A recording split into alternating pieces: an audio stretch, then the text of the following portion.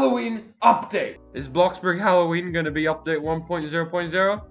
We're about to find out. But first, make sure to subscribe because we're trying to hit 20k. And if you want, leave a like. But only if you actually like the video. Otherwise, it's pointless. Anyways, to catch you up real quick, we recently got the controversial water slides update. I say controversial because the slides are expensive, the pool water looks like blue plastic, and the update's small. But really, we should be thankful we got an update in the first place. Right now, we're on update 0.9.9. And next month is October. Which means we should be getting the Halloween update next which would be update 1.0.0. Unless we get another update this month, which is extremely unlikely. People have been making predictions. At Bloxburg Record predicts Halloween next, then a small November update, which would be the removal of Halloween stuff. Then Christmas, then New Year's 2022. I, I think that's a pretty fair prediction.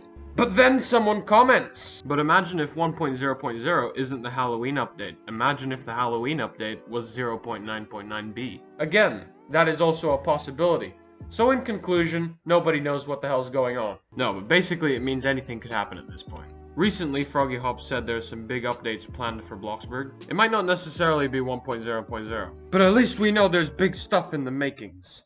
Also, something I kinda discovered myself. So this is a thumbnail made for Bloxburg, just a couple of friends hanging out, having a good time. Wrong! If we brighten the image, Zoom into the background. The road is all chopped up. Could we be getting an apocalyptic Bloxburg map for Halloween? Eh? Probably not. I mean, I don't know if that's actually an Easter egg. I, that, that's probably not an Easter egg. I think maybe just the GFX didn't render right. But who knows, you know? Bloxburg Apocalypse would be a pretty good Halloween theme, in my opinion. But that's probably because it's my idea. Okay, so for now, that's all the info we have so far. Make sure to subscribe so I can receive my custom cardboard play button. Wait, before we go, I want to show you guys my slides. I just turned my pool into a water park. Okay, let me show you the biggest slide.